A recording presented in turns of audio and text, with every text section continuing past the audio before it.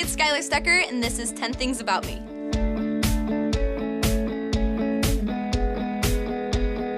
Someone I would love to collaborate with would be Beyonce. If I could have a superpower, it would be to be able to turn invisible. One place I've never been but I would love to visit would be Greece. The last movie I watched was McFarland USA, because my grandma really wanted me to watch it.